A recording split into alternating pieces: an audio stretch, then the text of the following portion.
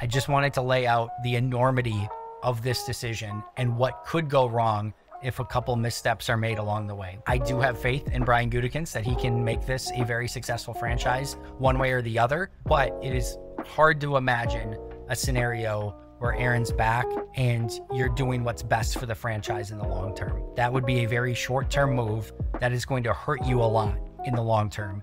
And you better make sure that that short term is basically perfect if you want that to pay off. This is a franchise altering decision. The weight of this decision is massive. And if things go wrong, they could go very, very wrong very, very quickly.